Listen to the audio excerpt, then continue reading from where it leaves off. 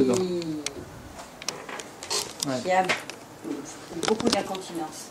Voilà, urinaire.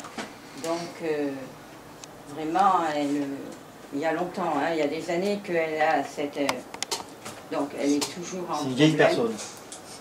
La vieille. Elle a D'un 70 certain ans. âge. Donc, euh, Pas tout jeune, hein. je lui ai fait le rat 6. Et alors, ça lui a arrêté. Avec l'aiguille, hein, pas en tonification, pas à la non, ah non, brosse, non, pas Parce qu'eux, en ils disent en tonification.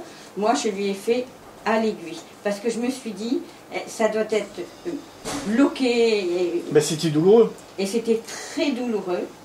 Et je lui ai fait, écoute, c'était la nuit, elle se levait de, de minuit à 6 heures une dizaine de fois. Donc elle n'arrivait pas à dormir, puis il fallait qu'elle court vite, hein, parce qu'autrement, elle faisait sur elle.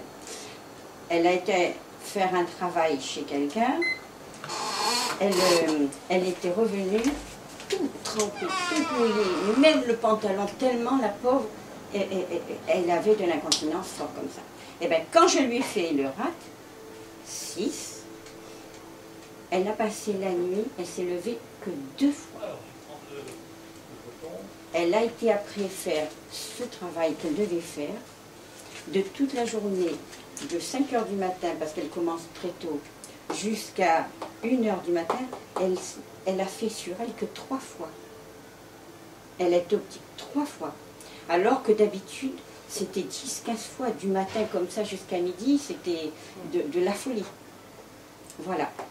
Donc tu as fait le rat 6 Et pourquoi le rat 6 Alors, le rat 6, parce que c'est pour la, vraiment l'incontinence, c'est un, très- c'est un des meilleurs points. Oui, mais quelle est la logique hein? La rate, elle Ouais, on était, contient. on était Mais parce que la rate euh, jette l'eau. La quoi? La La rate ne veut pas l'humidité. Et, et- et oui, donc elle rejette l'eau. Donc elle, et- et voilà. Alors c'est quoi C'est quoi le rat 6 alors Pourquoi? J'ai pas- je- je Elle, comprends pas elle la ne veut pas d'humidité. Pourquoi que Pierre la Non. rat 6 euh, en est pour l'incontinence? Quelle C'est est pas la ça logique? l'explication, Janine. Et alors c'est quoi?